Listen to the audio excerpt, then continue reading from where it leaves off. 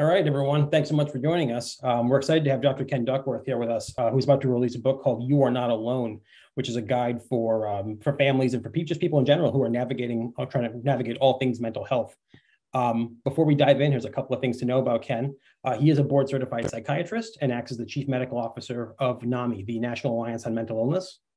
He's an assistant professor of psychiatry at Harvard Medical School and was uh, previously the acting commissioner and medical director for the Mass Department of Mental Health. Uh, one of the great things about having Ken join us, I will say, is that um, he's seen the impact of mental health in many different settings. You know, prior to working at NAMI, um, he's worked on an assertive community treatment program, uh, early psychosis program at an elementary school, a health plan, and with people who are unhoused. Um, so he's got a lot, you know, a lot of great perspective from you know from all different angles. And then um, one of the things I did want to note is that um, Ken's quite passionate about the work that he does, uh, something that was instilled to him by his loving father, a gentleman who lived with bipolar disorder. So Ken, thank you so much for being with us today. Thank you so much for having me, and thanks everybody for joining. I'm in a hotel room in New York City. For forgive my quirky, non-welcoming background. Uh, I'm on Gayle King's CBS Good Morning Show to talk about the book for somewhere between 13 seconds and five minutes. You know how it goes. uh, so I'm in New York City, so I'm not in my usual office. So I want to tell you a little bit about the idea for the book. Uh, I grew up with a dad who was loving and delightful and also very sick. And uh, my family was from Philadelphia. And uh, when I was eight, I saw the police drag my dad away while he was yelling. Nobody talked about it. Nobody explained anything about it. The next thing I know, we're in a U-Haul driving to Michigan. And uh, I, as an eight year old, said, I wonder if this has something to do with that. But nobody could talk about it. And so this begins my understanding or my quest to understand what is this thing that is so strong that it can move a family 350 miles, but you can't talk about it? The answer is mental health and mental illness. So I was not a science kid. I only got into the medical schools that did not require calculus.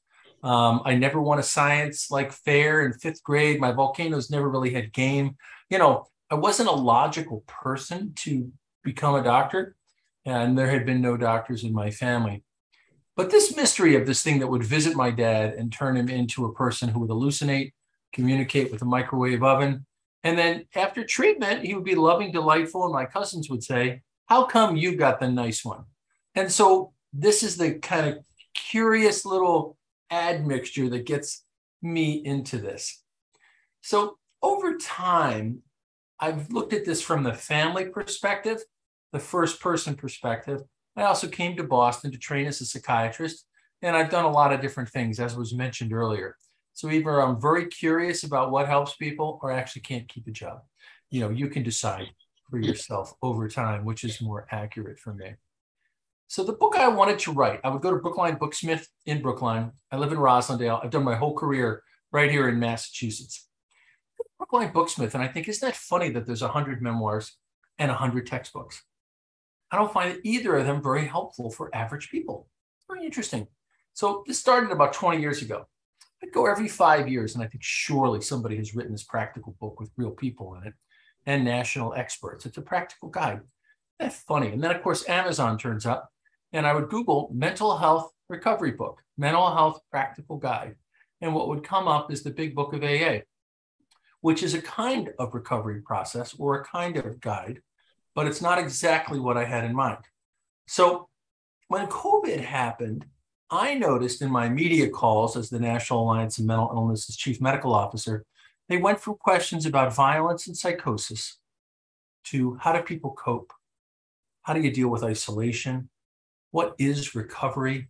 Can peers teach each other because we don't have enough professionals? How do you deal with addiction relapse?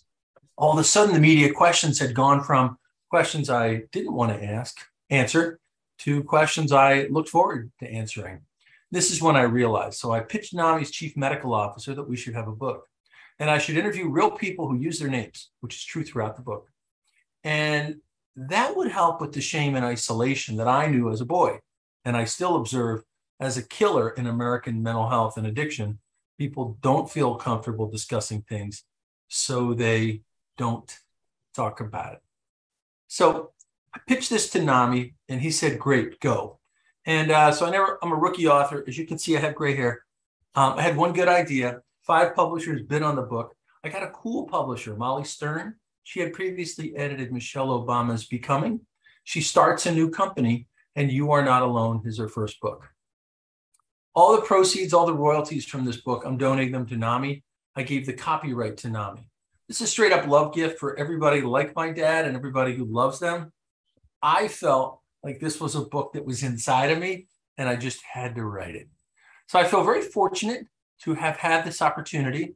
The book is selling extremely well, comically well. Like, are you kidding me? Well, and in pre sales, the book comes out tomorrow. And as you know, as I mentioned, I'm going to have my 13 Seconds of Fame on CBS Good Morning to talk about the book. So I interviewed people from 38 states, ages 16 to 100. One woman said she was old as dirt. So you can decide how old that might be. She didn't say. Um, 11 different self identified race and ethnicities. People said who they were. One person said they were Hispanic, the next person said they were Latinx. 12 people said they were Black, 12 people said they were African American. Some people identify their gender and sexuality, some did not. The idea was you identify yourself. So I have uh, about 50 people who are first uh, person experience, about 50 people who are family members. How did the families learn to communicate? How did the families problem solve? I have about 30 people that are both first person and family. They marry somebody with a mental health condition and they have a mental health condition. They had a mental health condition. They feel like they're in recovery. Their kid gets a mental health condition. So that's a 50, 50, 30. I also, because I'm NAMI's chief medical officer, NAMI is the largest mental health group in America. Um, I know everybody. And I said, hey, would you answer a really common question uh, that I get as NAMI's chief medical officer? Again, I'm going for practical help here. I have bipolar disorder. Do I really have to take these meds forever? Well, who cares what Ken Duckworth thinks? Why don't I have the king of bipolar disorder, Andy Nierenberg from Mass General Hospital, answer that question? He answers the question in a beautiful way. I can't find a therapist. How do I find a therapist. I can't get my family member to agree to get help. So I asked Bill Miller, who invented the whole field of motivational interviewing, to answer that question thoughtfully and compassionately. What are my rights in the workplace? What's a disability accommodation? These are all the things that I wanted a practical book to have. And now, tomorrow, thousands of movies slinged across America because it appears to have happened. It was an entire team effort. I want to emphasize that. I am the author, but I involved many people to help me, including the 130 people who courageously volunteered to share their stories. They come from Cape Cod to Hawaii, that's east to west, from Anchorage, Alaska to San Antonio, that's north to south. They're all uh, joining me on the book panel across America. Uh, so tomorrow I'll be doing an event in New York City with four people from New York City who are in the book. So it's a great privilege. It's quite the adventure. I'd be delighted to talk to you more about it. As you can see, it's a realization of a dream. Uh, I do want to say, you know, having never written a book, uh, if you want to write a book, send me an email, ken at nami.org, and I'll coach you up. I'm just a little behind uh, with the uh, book tour. But I feel like I knew I had a book in me, but I wasn't really sure. And uh, now it's come to pass. So I'd like to take questions. I know Shannon is helping with questions. Um, Ken, before we dig into audience questions, I have a, one thing I was hoping you could tell the audience a little more about. What does NAMI do to help support families and communities? So the National Alliance on Mental, Illness, NAMI, has 700 uh, organizations across the country. So there's NAMI Cambridge, there's NAMI Boston, there's NAMI Plymouth, there's NAMI Cape Cod, just to give you an, an idea, NAMI Middlesex County. They offer support groups, they offer family education, peer to peer education. Um, they also, in addition to support and education, they do a lot of advocacy. Though the 988 number that came out on July 16th, that you don't have to go straight to the police if you have a mental health crisis, that's a lot of NAMI advocacy. Mental health parity, which many of you have heard about, uh, is a good example of one of the things that NAMI advocated for. You have Dost Öngür, a national leader in the early psychosis movement. NAMI helped to make that happen by advocating in Congress for the funding to make sure that people with early psychosis could get thoughtful, strength based care. NAMI is the only job I ever wanted. Um, it's a cool job uh, because I get to hang out with people who are working the same problem that I'm working. But I want to emphasize of the hundreds of thousands of members of NAMI, I'm really the doctor. I'm, you know, I'm also a family member. So people say, hey, could you have your medical team join us? I'm like, dude, there's no medical team These are heroes living with these conditions and people who love them mothers, fathers, sisters, sons, daughters. So I have one associate medical director, Christine Crawford. She's wonderful. I met her at Mass General Hospital in the Child Psychiatry Fellowship. I said to her, Would you like to be my helper? And so McLean Mass General has been part of the fabric of, uh, you know, NAMI and Christine uh, is working on the next book, which I can tell you about uh, if you're interested. So it's a great question. NAMI is a very special group. Many people have said to me over the years, if only I knew about NAMI five years ago. My goal is to have this book all over bookstores. I want it to be one of the books on the airport. You know, I don't want NAMI to be the best kept secret. All the services are free. All of them are free. Every single service is free. So if you take an eight week course on family to family, if you join a support group, you're in a city and you want to hang out with other people who understand a little bit about what you've been through, boom, in Kansas City, it's happening, right? There's a list everywhere. In Bucks County, Pennsylvania, out north of Philly, there's 65 groups a week. So you've probably heard of NAMI walks. There are 77 NAMI walks across America from last Saturday to November 5th and another 50 in the springtime. Wow. I'm like, what? So I've been to the Boston NAMI walk. Scott Rauch has attended several times, you know, one of your leaders at McLean Hospital. And I just want to say it's a great way to participate in a movement where mental health is actually truly considered health. We're not there yet. We have work to do. But this book is one little pebble on that journey. It's great. Thank you. Um, one of the things, you know, one of the things you brought up about the book was about the number. You said about 130 people were interviewed, and you know, you use like examples of you know real people and the different you know aspects and challenges that they face as it relates to their mental health. And you use like th- their names and their locations and like you know the real quotes to kind of get to the bottom of what they were what Yeah. they were commenting about, and just to and kind of kind of put in you know put a name with with a quote. It's not just you know Dr. Ken talking to you about something. You're hearing from actual people who've experienced these things firsthand. Um, you know, It's radical within the field of medicine. It is radical because the typical book is the doctor writes the book and says, My patients are my greatest teachers. They're all confidential. The joy of this is these aren't my patients. I have a big platform at the National Alliance on Mental Illness. I'm flipping the narrative where people with lived experience, family members, how do they figure out how to communicate? How do they work the problem of talking about a diagnosis? How did they solve some of the problems that they faced in access to care and in figuring out is a dog going to be helpful to me or a problem for me? I mean, I'm talking about real practical stuff. So it was a joy to do this process. And again, the pandemic gave me the gift of Zoom interviews. I interviewed uh, 130 people for about 150 hours. And uh, there's still a police officer in New Jersey who would keep talking if I didn't end the interview. I mean, he had so much to say. It was amazing, but I think it might have been a three hour interview. Uh, it was amazing. He's in the book. And um, the joy of the Zoom is I could talk to somebody in Hawaii and someone in Texas and someone in Massachusetts on the same day. Then I could record their transcripts and say, This is the quote, Trevor. This is the quote, George. This is the quote, Sukmani. This is the quote I want to use. Is this okay? Send it to them. Yes, Ken, that is exactly what I want to say. And I say, cover some vulnerable information. And he said, Ken, if it happened to me, it happened to millions of other people.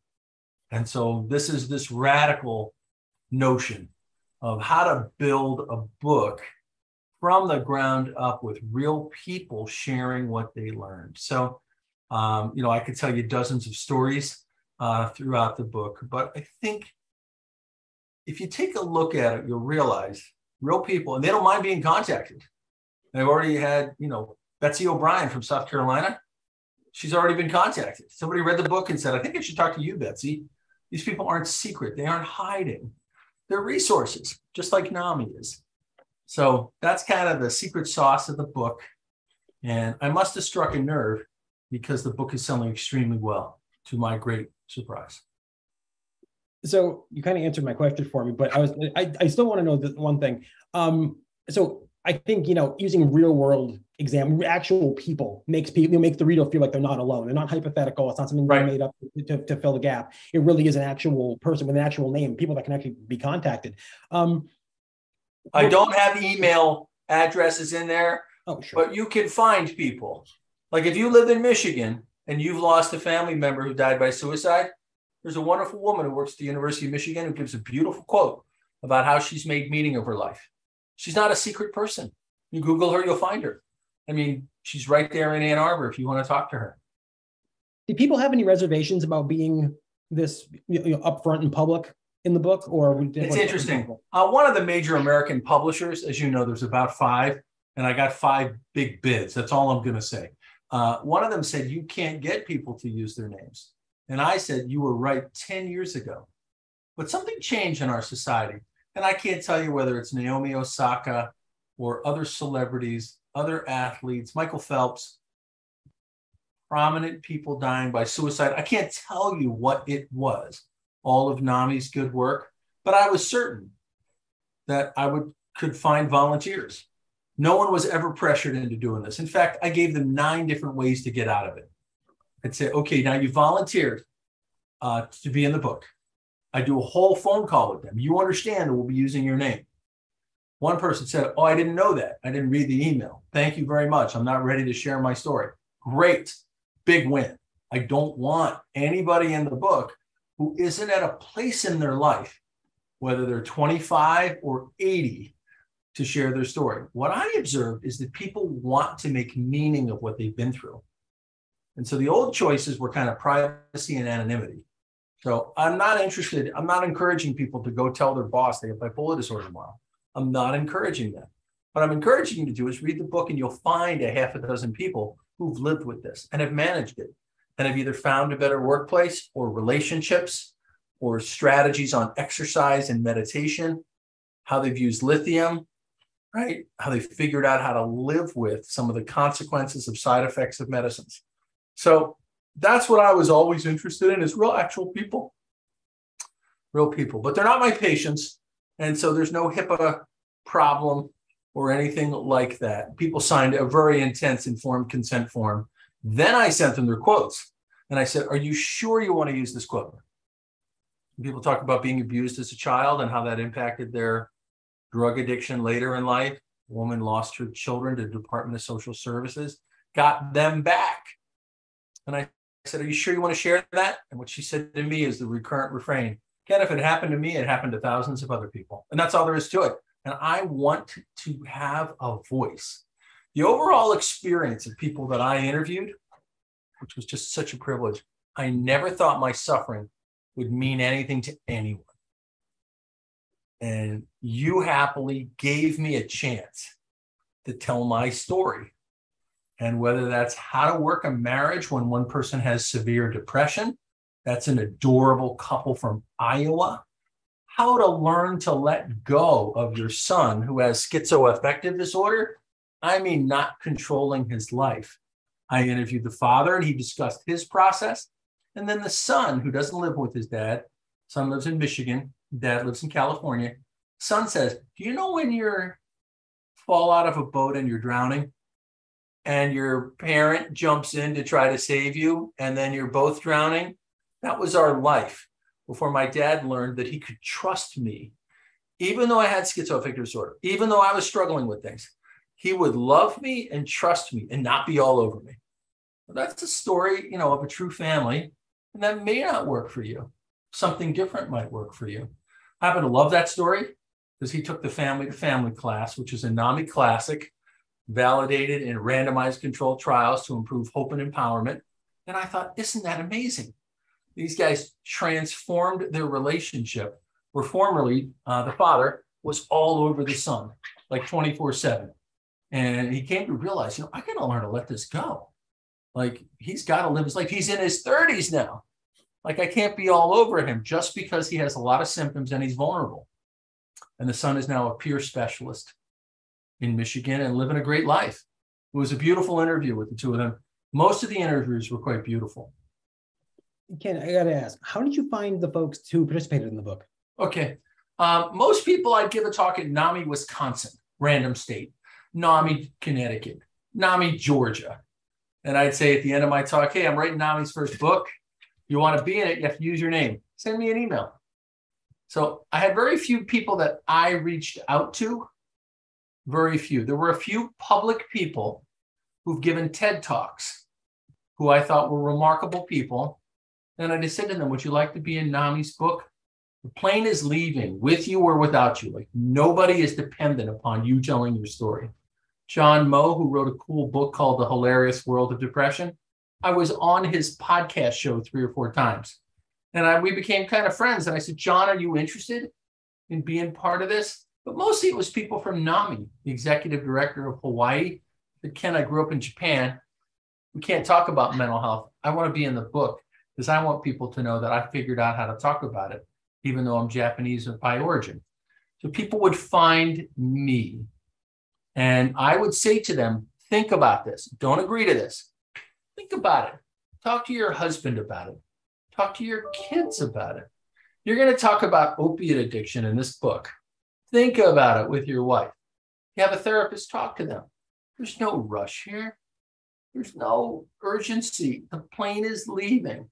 I'm happy to have you on it, but the book is not dependent on any one story. In fact, I only wrote in the book proposal that I was going to write interview 50 people. It just got so interesting, I kept going. So I had no intention of 100 people. I my intention was to find people who wanted to be able to share their story. And I was so moved by some of the people. I thought, okay, I talked to one person in Tennessee and she said, Have you talked to Carol? And I said, No, who's Carol? She said, Carol's a legend in Tennessee. You have to interview her. I'll make an email connection. I said, Hey, plane's leaving with or without Carol. Carol, of course I want to be in your book. This is amazing what you're doing. Nobody ever asks people with the experience of illness what they've learned. It's all about what the doctors know. And again, I like doctors. I hang out with doctors. But the idea is it's a both and world. You can have medical treatment, you can also have recovery tools. So that was basically the process. I went for diversity of both experts and individuals in the book. Uh, and fortunately, it seemed to sort out pretty well. Uh, it's not perfect diversity, but it's strong. It's very strong uh, in overall in diversity. One of the things that um, we have a couple questions about is around stigma. I should say I work pretty heavily in the area of mental health stigma. We have a project called Deconstructing Stigma at McLean, uh, yeah. about you know storytelling and getting into public venues to you know, storytelling. Boom. So there's research. Patrick Corrigan, University of Illinois, says contact with real people is the best way to change attitudes. So running ads, mental illness is health, mental health is health. That's fine. It doesn't change anybody's attitude. Meeting people with mental health conditions. So there's a program NAMI has called Ending the Silence. I interviewed people who teach that course in the schools. The gentleman named Mike in Wisconsin says, anytime I go to McDonald's, people say, Hey, weren't you the guy who talked about mental illness in my health class? And he says, Yeah, I was that guy. Actually, that's what I do. That's kind of my jam. And they said, It's great because it got my brother into treatment. It probably saved his life. And he says to me, I'm just a guy walking around with schizophrenia. Imagine what that has done for me teaching this class. So I think storytelling, sharing experience is one of the pieces of magic. So some people might know the Humans of New York project and book. It's all stories of people in New York. And people who have gray hair might remember Stud Terkel, who interviewed real people about their aspects of life, uh, not mental health. So I build this book as Humans of New York or Stud Terkel meets the mental health journey so when it comes to stigma, you know, there's a couple of different reasons, general, probably many different reasons why people are afraid to disclose. They may be struggling with something. You know, it could be, you know, they're afraid of being rejected or treated differently. And then sometimes people also, you know, when it comes to stigma, they, you know, they apply it to themselves. They think that they can't do certain things, achieve certain things because they are struggling with their mental health. Um, would you talk just a little bit about what families are typically um, experiencing about as it relates to stigma, both you know the individuals themselves, but also the, the families and how they are they're afraid to disclose to others about the um. The, what very interesting. I wouldn't say that everybody should go out and disclose.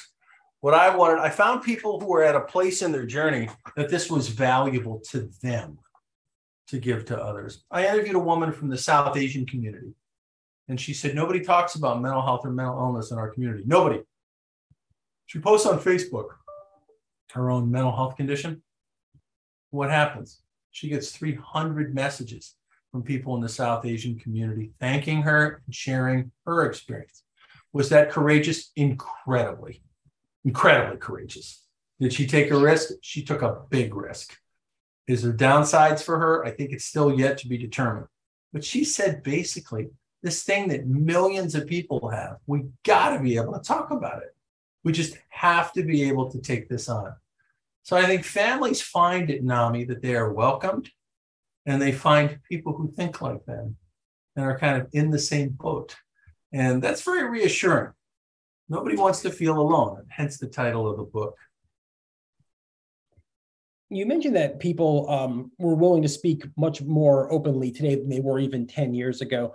Do you think there's any, um, I mean, I mean, you said you alluded to this a little bit, you know, you're not really confident there's one thing in particular that's leading to people feeling more comfortable and open.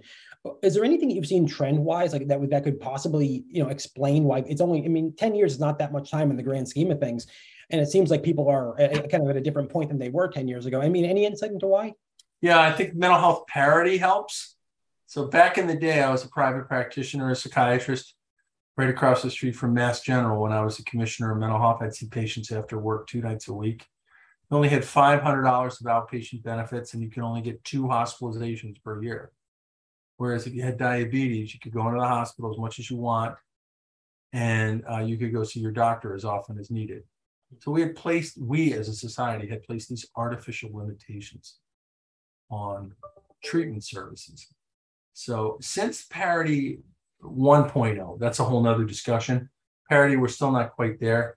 But since the insurance companies have been prohibited from denying care as a structural idea, just as a structural idea. You can't just give people with mental health two hospitalizations and people with lupus unlimited. Like that's what we were doing. I think it's opened up. And I saw it when I was at uh, a health plan here in Massachusetts. Utilization of mental health went up. People then thought, okay, I have a benefit I can use now.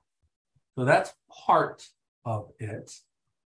You know, I think another part of it is that uh, the rate of anxiety and depression among young people has been rising. You could have a whole discussion on how much climate change or school violence or uncertainty fits into that. But the facts are clear. There's a rising rate of anxiety and depression. And also, for many, not all subpopulations, we've been seeing a slow and steady increase in the outcome of suicide. Suicide generates a tremendous amount of grief and distress on many people in the world, in a family. So, what I would say is it's not one thing. I think Simone Biles is amazing. Demi Lovato is amazing. Like famous people do something, and then you say, I can join this club. There are guys in the NBA who talk about their mental health now, unimaginable, right? And like Kevin Love can do it guy's getting a triple double from time to time. Like he's a cool dude. I was a high school basketball player. That's a guy I can identify with, minus the millions of dollar contract. But like the dude is a real person that I watch on television. That's a real person. He's kind of like me. And he admits to leaving a game in the middle of the game because he had a full panic attack as part of his anxiety depression. So I can't really explain it other than there's thousands and thousands of people that are sharing their story at businesses, your program at McLean. How long has that been going? Uh, five years. Five years. So you're making my point, right? Like, you know, that program didn't exist five years ago. So something's changed in the water. How do we get to the point where a small number of Americans smoke? How do we get to the point of a designated driver? I don't think you can really identify one thing. But somehow society has moved. And if I got one thing right in the book, I intuited that people would share their story. I only shot for 50. I had no idea it was just going to keep going. I had no idea. Oh, you can't do this book without talking to Jeremiah. You can't do that. Jeremiah was raised in foster care and he was traumatized so badly he started to hear voices. And chess saved his life, playing chess.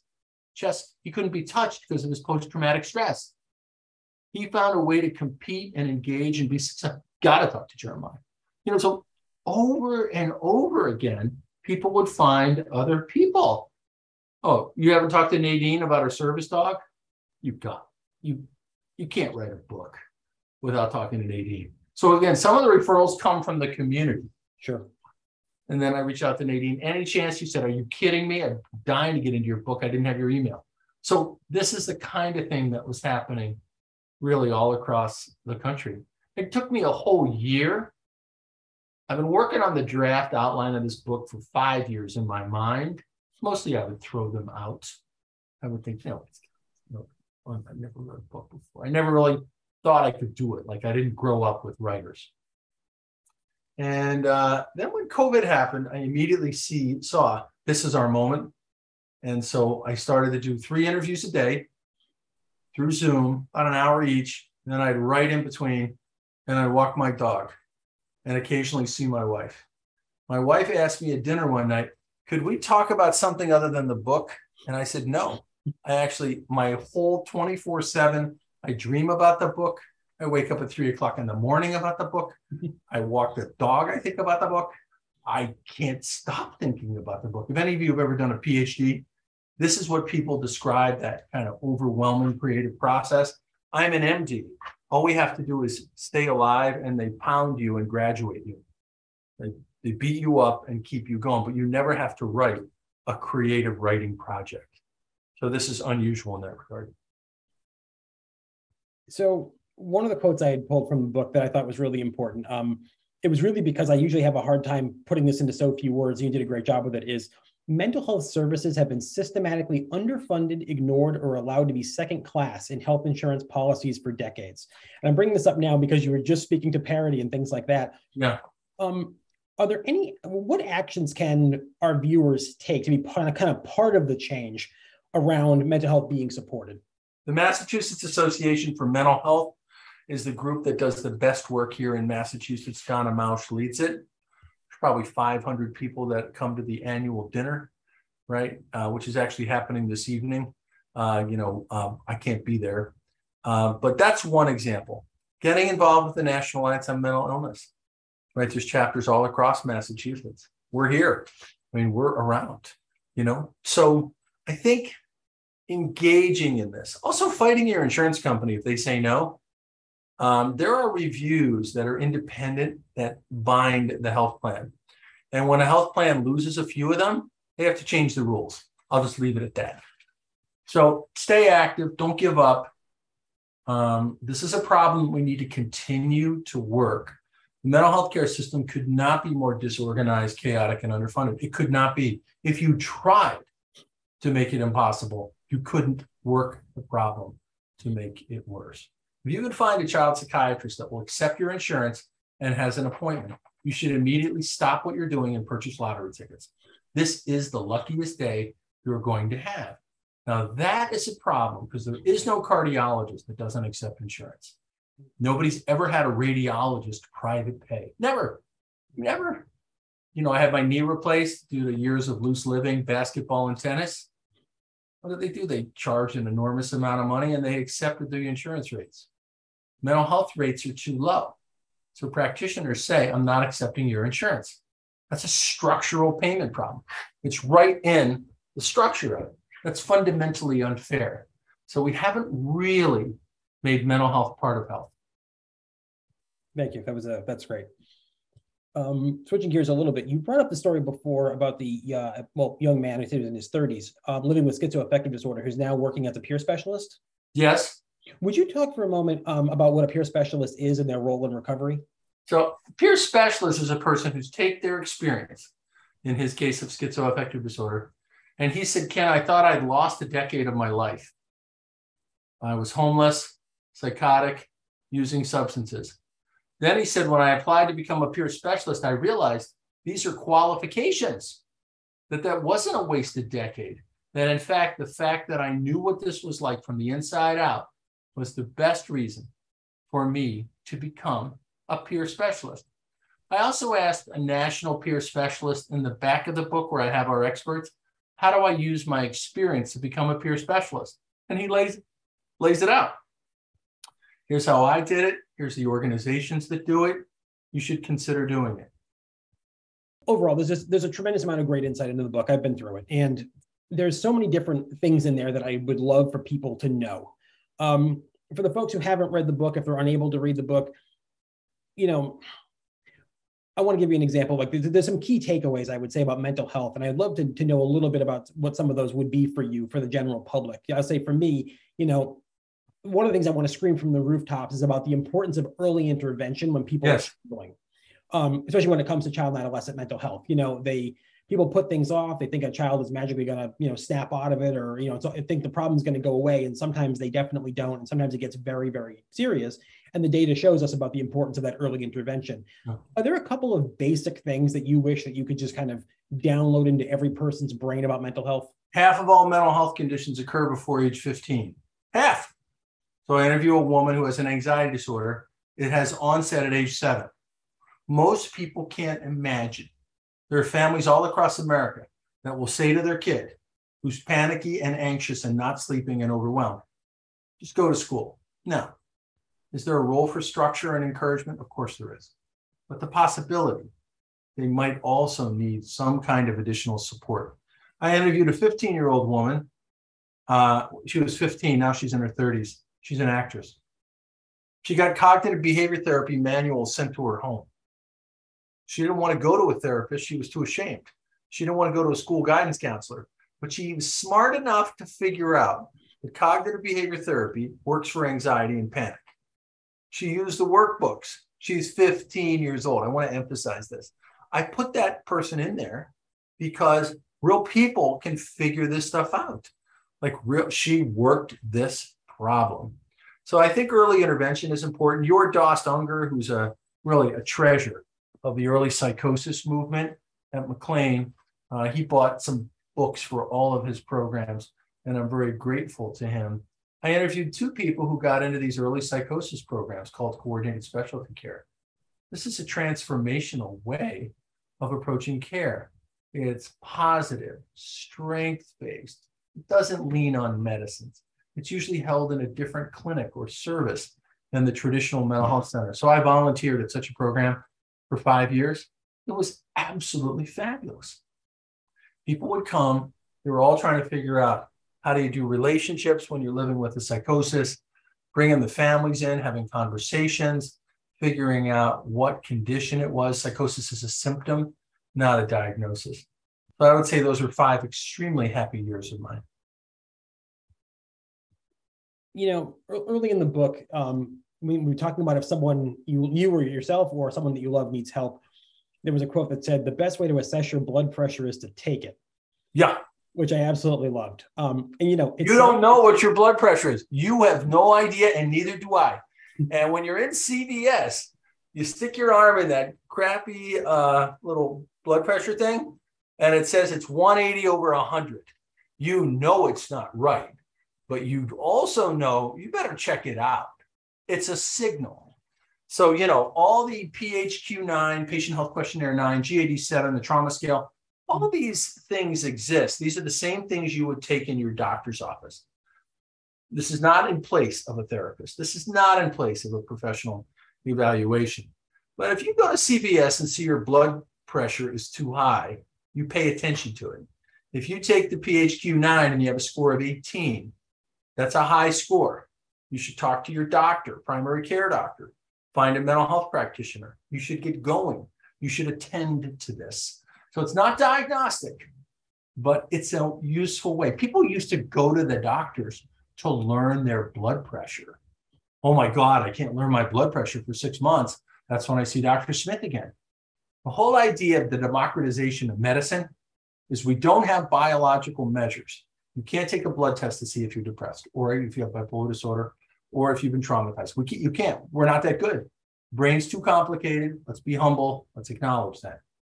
But these screening tests have been validated on hundreds and hundreds of thousands of people, and they do have some correlation to clinical reality. Mental Health America, NAMI's sister agency, has all these screening tools online. So I think some people are definitely going to be more motivated than others to either take one of the assessments themselves or would be more open to it if someone suggested it to them. Do you have any advice for people who are trying to get someone to maybe engage with treatment or even a self assessment? Mm. So I interviewed um, the man who invented a strategy called motivational interviewing. So let's say you to me, you say to me, Ken, you're depressed, you need help. I say, no, I don't. Right? It's kind of the response. He would say that people have a kind of committee inside of them. And when you push on one side of the boat, the boat rights the other way. Right? You say, you need help. I say, no, I don't. Right? Bill Miller, who invented motivational interviewing, is in part four, the expert part of the book. How do I get somebody in my family to seek help when they don't want it? And he discusses the basic principles of motivational interviewing. You listen for something the person is worried about. You don't tell them the way it is. They have something they're concerned about. You develop that and answer questions. And there, of course, are a lot of resources on motivational interviewing. But let's say you say, Ken, I think you're depressed. And I say, no, I'm not. That kind of ends the conversation. Another way to do it is you say, Ken, you've been complaining a lot about sleep. Can we talk about that? Now, that's something I bring to the table. I'm not happy about it. I'm not ready to accept a possible mental health diagnosis. You've got to be kidding me. I don't have that and sleep problems. But you can say, well, all right, fine. Let's talk about the sleep problem. I'm worrying about such and such. I had some stress at my job. Would you consider, you know, checking your sleep out with your primary care doctor? Well, maybe. I'll think about it. Stop the conversation. Stop. They're thinking about it. Let them think about it. Don't pound them and say, Ken, remember I told you you were depressed last week and you said, no, I'm not. I told you I was right. Don't do that. Let them think about it.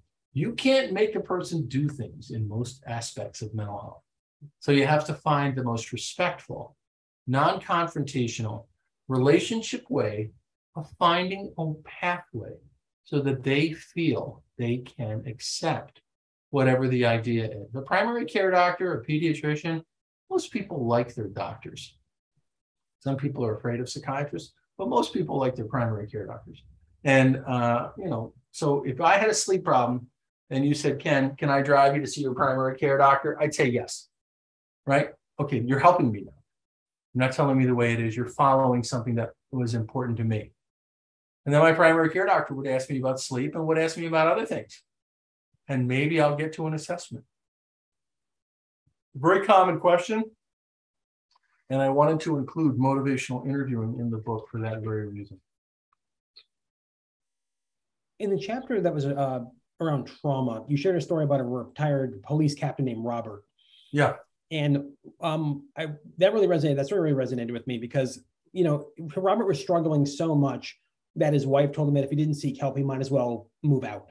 Hit the road, Jack. It, it that was after three days. So his police officers were in a shootout.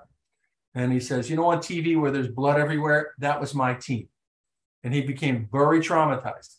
And within three days, his wife said, You got to deal with this. So that is probably an exception to the motivational interviewing rule, right? You got to know your quality of your relationships. Robert now teaches police officers, teaches them about how to de escalate situations with people with mental health problems. Okay. He's taken this post traumatic experience, which he lived and got better from, with cognitive behavior therapy, some other strategies that he used, and now he's become a teacher. By helping other people, back to peer specialists, a lot of people find value in that. One of the things about Robert that really kind of kind of caught me was the fact that he found out that he was, um, you know, he was uh, susceptible or you know he said the thing that stuck in my brain was that he said that he felt like he was Superman. And oh, me? I'm Superman. It helped him realize that he's got a gun. People look to him for everything from help to directions to problem solving. The idea that he, a man, men are less likely to seek help, less likely to go to therapy, more likely to die by suicide. Emphasis, I, I want to say the male not seeking help thing is another concern. And I interviewed a young man who grew up in fraternity life and said it's unimaginable that you would seek help as a man. Just unimaginable in my particular fraternity culture. And of course, you know, problems flow from that. But Robert transcended the first thing by saying, all right, fine. I'm Superman as a police officer. You know, I'm a I'm a I'm a dude. You know, I've taken care of things. I walk around with a gun. The truth is, I can't sleep. My thoughts are out of control. I can't handle the day. And so it's just really important. Uh, question around child and adolescent mental health. Um, does your book uh, offer suggestions or tips for parents um, around children, or I'm sorry, around adult children who are experiencing mental health challenges? Are there other resources you would also suggest? So this is parents of adult children? Yeah. Yeah, that's the most common parent-child dynamic. So I didn't really do too many stories of parents and young kids. My colleague Christine Crawford is writing that book, a guide for parents from children's age zero to 18. The publisher wanted another follow-up book because this book is going to sell more than a couple copies. Um, and they're like, we want to do one for parents. And so I called Christine and I said, Can I ruin your life and make your career? And she said, Sure, that's an interesting opening line. I said, They asked me to write the next book and I don't want to do it. I want you to do it. So she's working on it now. Parents and adult children, adult children with schizophrenia, adult children with bipolar disorder, adult children with addiction. This is a key part of the book. How parents in the family to family program, George and Patrick, that I discussed earlier, is a good example. The man who's drowning off a boat and wanting to be trusted to swim to shore, not have his father jump in and drown with him. So there are stories like that. And there's five chapters devoted to families and interviews with people in the family space. Four chapters, first person lived experience. Seven chapters where I try to lay out the problems and challenges with first person stories and family stories throughout. And then in the expert section, I have the traditional research experts, right? The leading person in their field. The director of the National Institute of Mental Health answers the question, why should I participate in research? So again, who cares what Ken thinks? I'll get the leading person on planet Earth to answer that question, right? So that was the structure of the book. So families are a big part of the book. NAMI started out as a family only organization, and over time it has grown to become also the largest first person peer group in America. That was intentional through elections and boards and decision making. It wasn't like the parents began because the psychiatrists were blaming them for their kids' schizophrenia. And they said, You've got to be kidding me. And I interviewed a man in Montana who was told that exact thing. They said, You've got to be kidding me. I know I'm just a, a guy, I'm a dentist, but my wife and I love each other we have another kid who doesn't have schizophrenia. Why would this be my fault? What did we do wrong? That's kind of the origin story of NAMI, but NAMI has grown tremendously since then. It's no longer families only. It's no longer, you know, uh, anti-psychiatry. Like they treat me great. I feel, you know, treated great. But NAMI is very interested in research. Like you've got to be able to learn more about the brain. And that's rooted in the origin story are you kidding me? You're going to blame me for my kid's schizophrenia. So families are a key part of the book. But it's not only for families. So when a family member is struggling, let's say their son is hearing voices and doesn't know he's sick. So I interview a family who's going through that. I discuss what I observed in my own life. Again, I'm part of the book. The book is not my memoir, but my experience is integrated in the book. Then I have a person who describes losing awareness through psychosis, like a fog rolling in. I think that's helpful to families to learn from the person who's experienced it and can talk about it. And I think it might be helpful for some for people who are peers to learn how their families have managed some of the uncertainty and anxiety. So the reason I did this book together was because I think we can all learn from each other. Some people told me I should write two different books, a book for families and a book for individuals. And I said, I actually don't think that's the way to go. I think the way to go is you do the whole ball of wax together. So if you don't want to read about somebody who's just like you, read about somebody who's like your mother. What is she experiencing? What does she think? No, I love the perspective. Thank you. That's fantastic to hear that you, uh, you took that approach. Um, you mentioned before um, mental health in the in the an employer and disclosing in the workplace. Would you speak briefly about your, your thoughts on that? I interviewed a woman named Wendy who had bipolar disorder, and she was treated very badly by a nonprofit. And uh, she was told basically, we don't want you here. We can't handle you. And then she went to work at my alma mater, the University of Michigan. It's just that happy coincidence that the team I obsess over on Saturdays and, you know, uh, watching college football um, is this is the organization that treated her so lovingly. And by having a large employer, large employers have a little more freedom to do what they said to her Wendy, we love you. We just want you well. You take the time you need. So she didn't know anything about ADA, Americans with Disabilities Act and accommodations. That's in the back of the book. I had a national expert lawyer say, What are my rights in the workplace? So, again, if you ask for an ADA accommodation, you still have to do the job.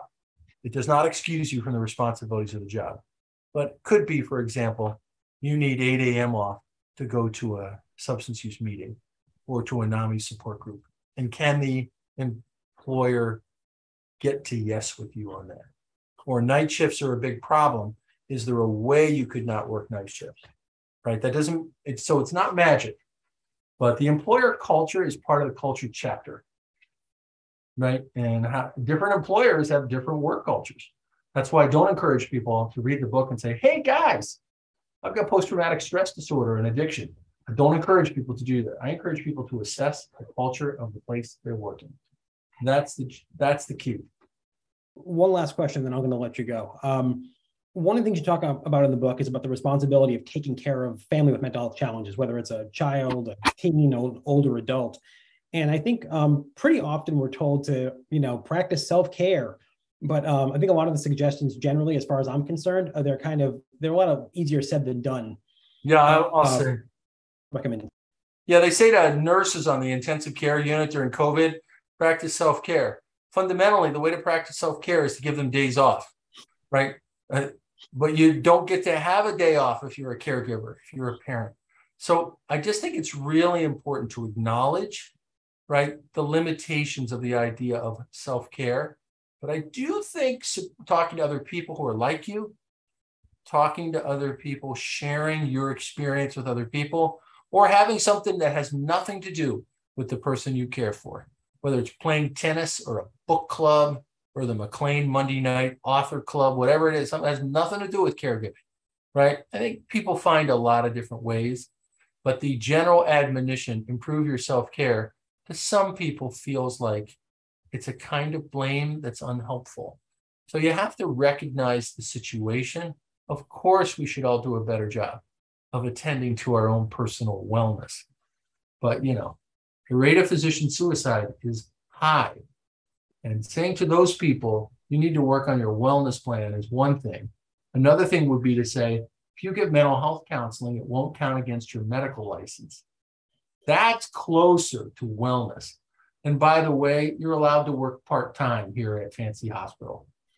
Like if you're dealing with something, if you have an ill parent or child who deal, that's the ultimate self care is to structure your life so that it's not overwhelming giving somebody an overwhelming task and saying, you should really work on your self care. That's not really kind of how I think about it. I, I have to say, I think everyone very much appreciates your insight today. Um, that's going to conclude our session. All right. Thank you so much. Have a great night. Good night, everyone. Thank you.